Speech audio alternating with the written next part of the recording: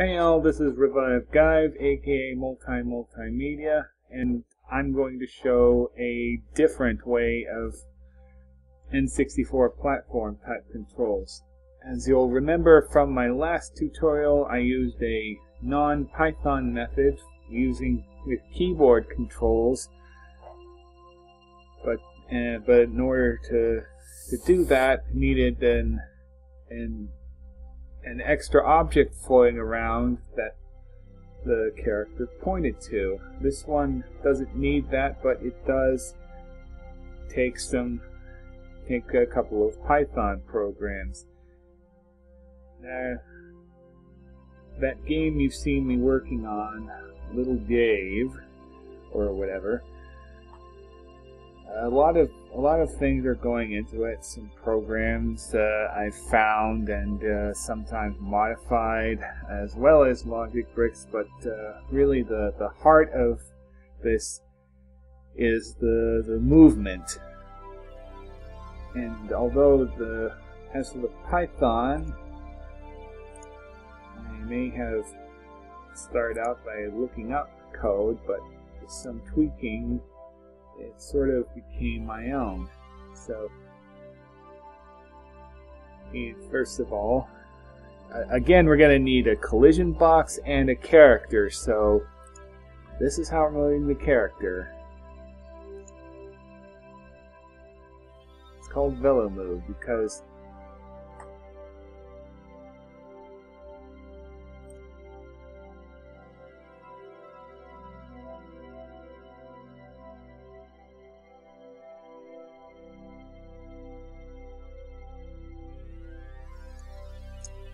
I don't know what that was about. Anyway,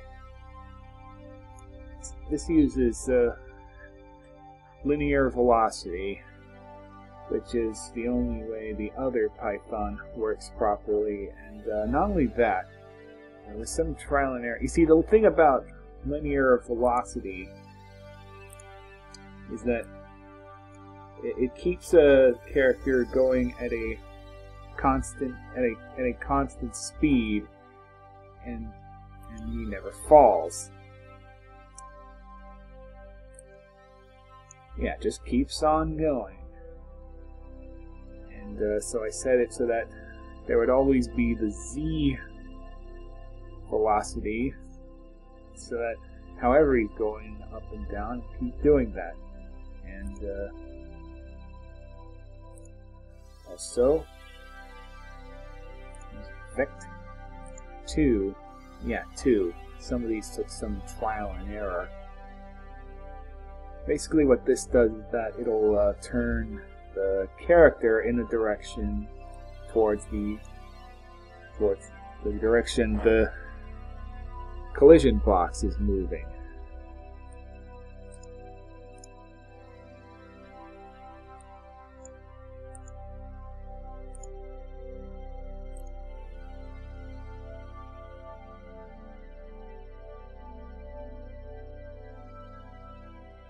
So let's start with our collision box. Better yet,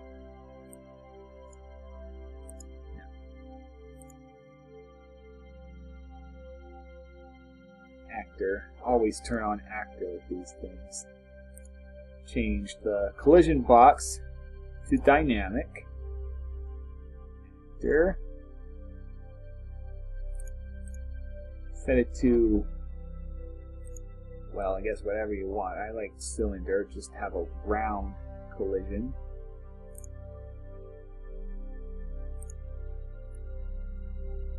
And let's start putting in our joystick controls. Let's see, I need to call it axis.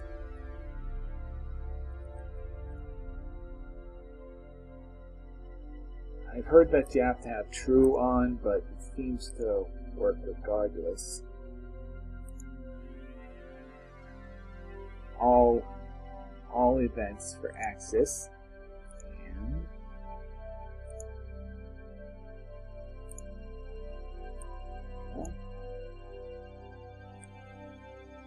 now let me just make sure the the numbers for the joysticks here correct because this may have been used uh, before I got an Xbox controller. Axis number one, threshold. Oh yeah, don't forget uh, threshold. If it's uh, if it's all the way at zero, then um, it's not going. Then uh, the character may keep moving. Well, well let's just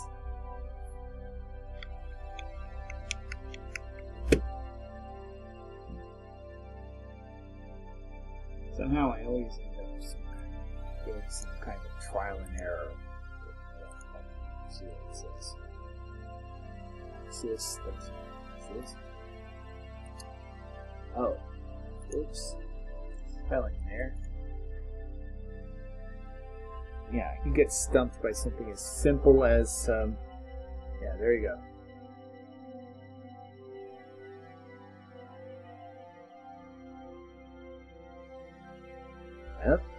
You see my character sliding there? This is why you never leave threshold at zero. So have up to, I think it was 32,000 to work with, with so let's say um, 2,000. There'll be room to work with this this later. Or what did, no, actually.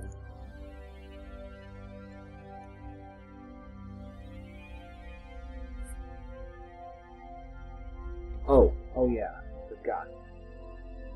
I just want to set the friction for, for both the ground and the character.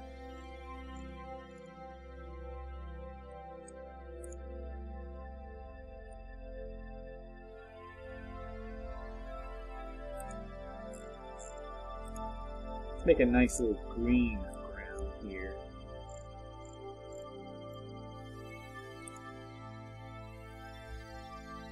See how that turns out. Yeah, one friction for the ground, two for the character. This is just uh, experimentation. Yeah, what like it. In case there's any doubt that there's momentum in these characters.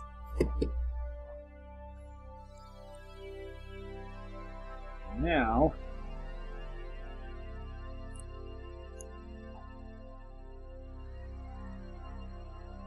let's uh, add ourselves a character.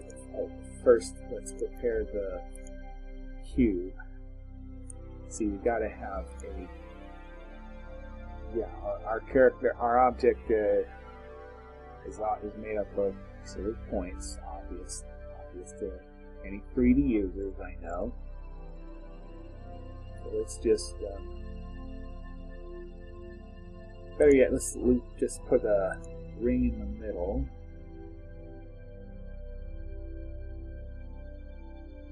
Select two dots here, press F, make a line, and then subdivide that line, and then choose the dot in the middle.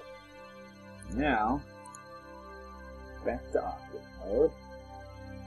I would use a armature for the character with a character parented to it, but uh, just to keep this tutorial focused. I mean, you can look up uh, armature characters just about anywhere. If, uh, anything about platformer style movement is much more rare.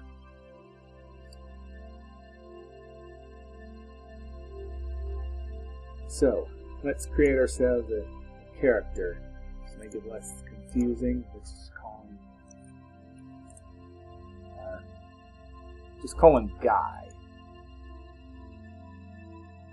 or girl, whatever you like. Remember to remember to turn off his turn off his physics. Uh, otherwise, yeah, that happens. Something like that. No collision, sensor. Just for the sake of experiment, let's try Ghost having a physical object that is uh, incorporeal might be might be useful uh, for it can be detected by sensors, but uh, this is something I've never tried before. Here's a guy. He's selected. Hold down Shift. select your other guy, I mean select your collision box, go to edit mode, and then yeah, your dot one dot is still selected there, so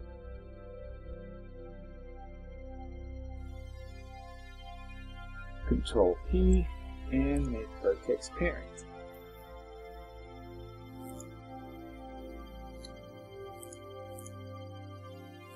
Now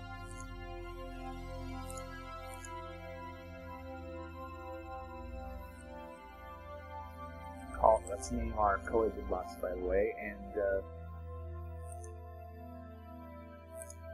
so we can tell these guys apart let's also color him I always color my color my main characters blue. Let's go with red this one. So let's uh, change our collision box switch on invisible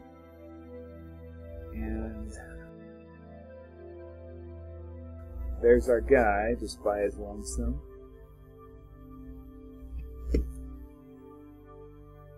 Now let's uh, apply our other Python. Oh, fun fact though. If you select uh, two of your characters at once, just watch. So, Python code here. Uh, let me just uh, check on our code here, which says, uh, okay, so uh, there's uh, it doesn't. I don't specifically name the the, the sensor, so no need to change them here. So let's just uh, take our sensor, axis sensor, from our collider and connect it with Python from our main guy. It's the beauty of this thing, how you can uh, just mix up the boxes there. So, see how we did.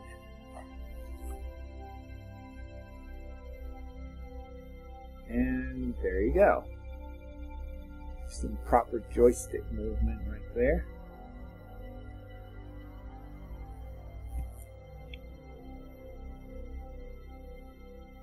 No need for an external arrow. And this, uh, and uh, naturally, this is, in fact, what I am using to, with my little Dave thingamajig.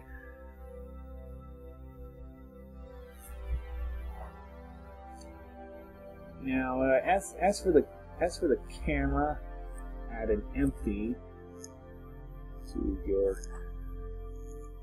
your collision box.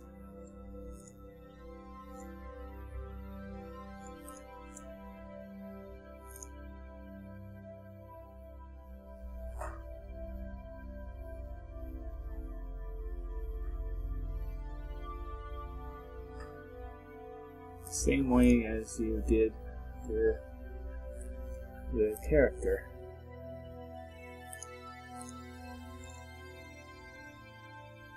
And what we're going to do here.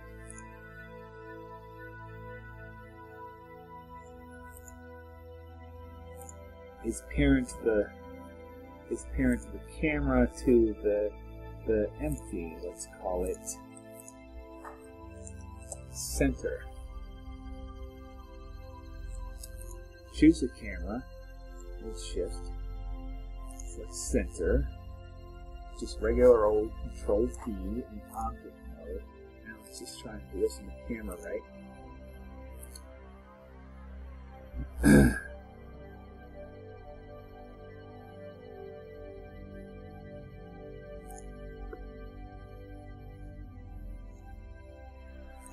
Switching away, see where they are.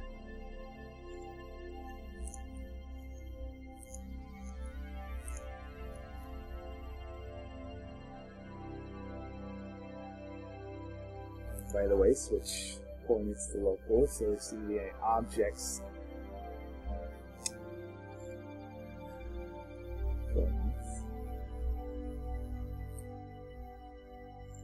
I mean the object's uh, axes.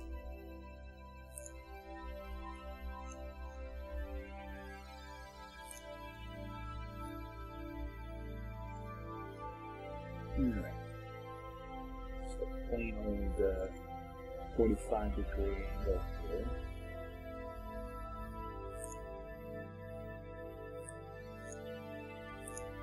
And of course.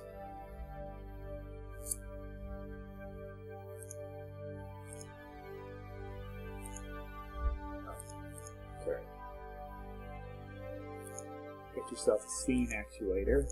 Set the camera as camera. All camera. Always.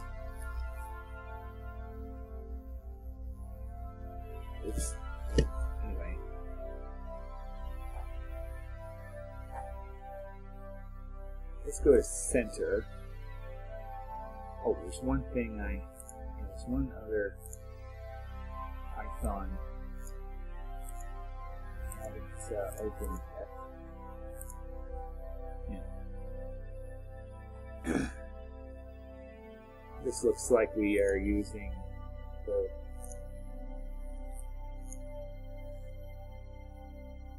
see what yeah what I was uh, what I'm doing for little Dave is uh, turning the the camera from the at the center from side to side, but turning the camera itself up or down. But uh, just for the sake just for the sake of convenience, I'm going. I'm going to set it to the camera to move all around from the center. Oh, and uh, this, you have to name sensor two stick, or else it, like this, or else it won't.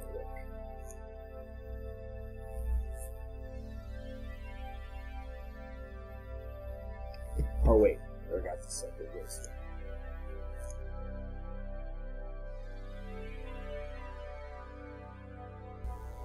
Okay, wow. Not only uh, did I uh, leave my lecture file without saving it, uh, and then had to rebuild the thing from the ground up, but as I was recording the last parts where I uh, um, where I put in some camera where I, where I put in some camera controls the the my screen recorder just shut down without apparently even saving me putting that there. But but so I'll just give a quick little rundown of, of what I did. Yeah, we have the cent we have the center object which has the camera parented to it. Each one of these has a little code. The center has some has some Python code to turn side to side uh, which is, which by the way, the the axis number is three. Side to side. Now, instead of uh, putting up and down turn turning for the center, which would simply have uh, have the camera move all around his scalp, I just wanted to be able to look and look up and down. I took the camera and I have this separate code. Axis 3. I mean, yeah, it says 3 here, but on axis number here it's 2. By the way, always turn, make it true, so it'll always be working connected that there, and I even I even put uh, attached to always an orientation constraint so that it wouldn't be turning forever.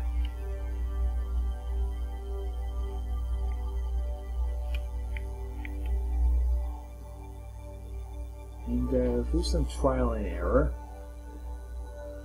I said so that it's the direction is y-axis, apparently and the reference direction is 1, max angle 45, just a sort of,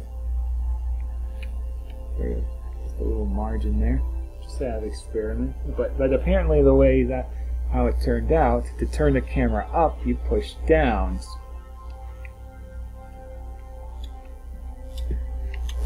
You can let me know how you feel about that. Let's see what happens if I change the reference direction. Point it the other way, minus 1.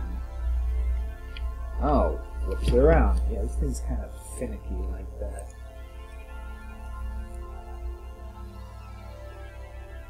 Anyhow, that's uh, that's how that's how we, uh, how we did it.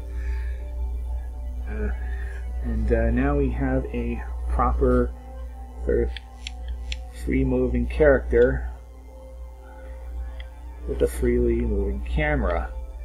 Uh, aside from jump controls, uh, but you can just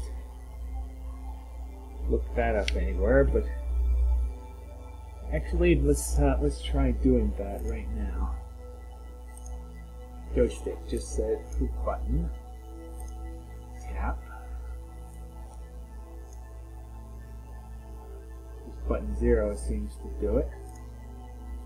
And better yet, let's try having a double jump.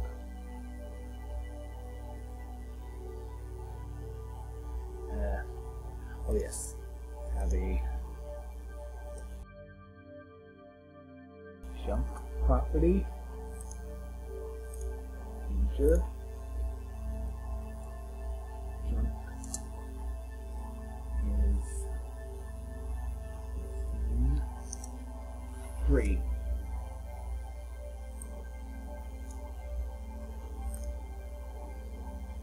Then add state, the second state. I'll show you what that is in a second. Also set it to add to the jump property. And collision with the ground.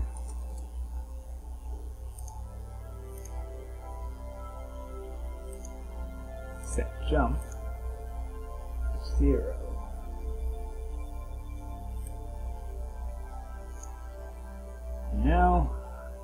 Second state here. Set initial state to one.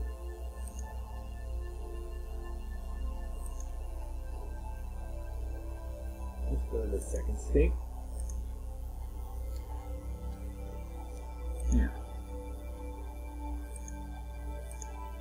Set it to always be going up as long as that state is, is there.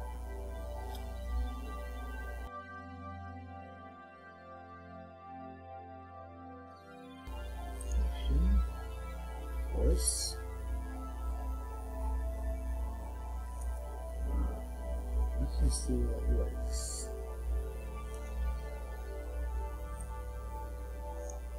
And also set it so that oh here's a little feature. You can make this uh, make anything appear anywhere, any brick appear anywhere by putting down this pin. So here's the let's call that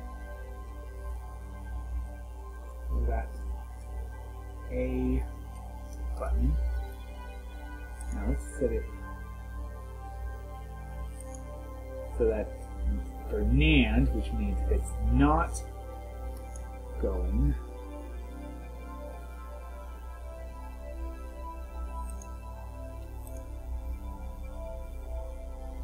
this state will be removed.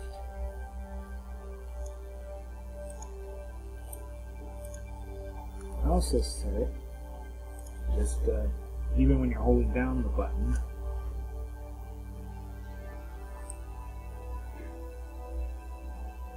for about a fraction of a second.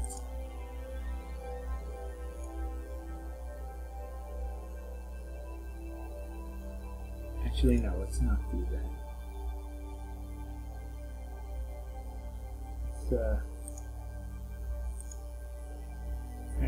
let's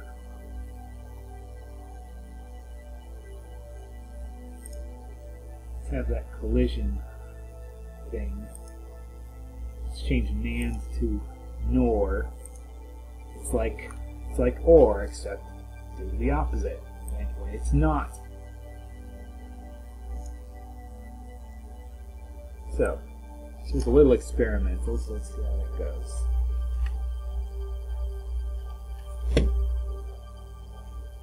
Uh, a little more thrust to that jump there.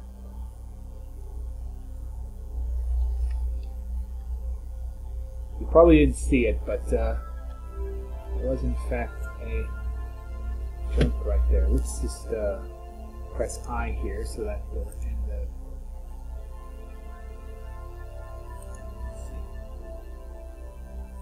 and the debug properties, I guess. Oh, yeah, here we go. You can see the number going up each time I press the button. Let's just uh, ramp off this hill here. Probably couldn't tell, but um, kind of stopping myself from falling briefly. Let's try even more.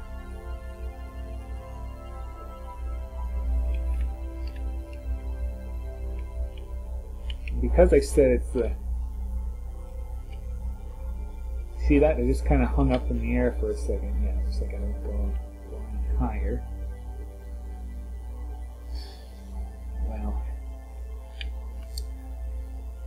unfortunately, that's just uh, how I'm at right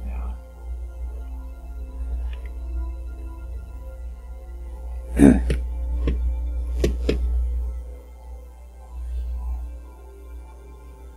because of the I said it's that letting go of the button removes the state. May not be noticeable, but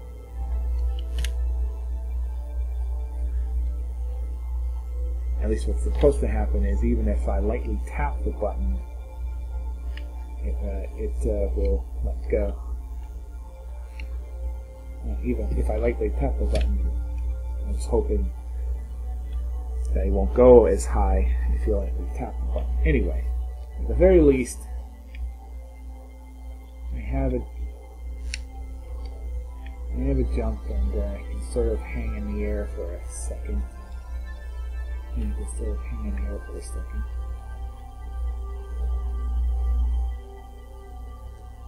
Anyhow, that's where I'm at. Take it or leave it. I hope you enjoyed my little lecture on my my uh, attempt to do uh, 3D platform movement with uh, modest software where this sort of thing is rarely done. Uh, I will uh, link link in the description for the forum post where I'll be putting this video as well as the Python code. Anyhow, I uh, I hope you enjoyed. Enjoy your day and bye. Okay. Okay, it just occurred to me. The way I set this thing up even if you're midair, you can double jump. Whereas if you simply fall from somewhere, you should only be able to do it once. So, the way this should be set up is that, uh, okay. Here's your collision. NAND, which means that if you're not collided,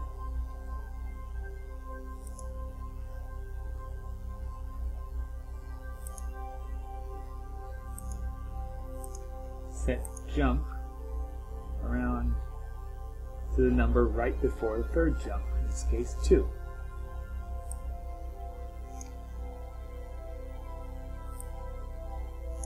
Don't ask me why it skips from 0 to 2 with the first button press.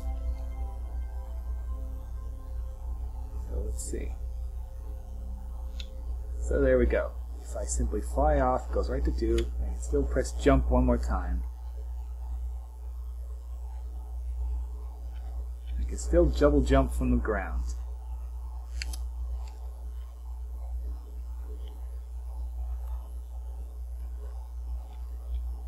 I am really having fun here. Forget anything? Well,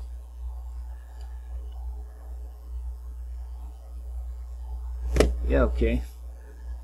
I guess that uh, covers the basics, the bare bones. Uh, so, look forward to updates, including uh, uh, a, a visual effect I've been working on, more Little Dave updates, and an upcoming Tiger Mask. Uh, it'll be a, a nice, nice uh, little haven from your daily routine if I can ever get the thing finished. Seriously, I should be making uh, like short films or something with how long these are taking. Anyway, hope you all had fun. See you later. Mm.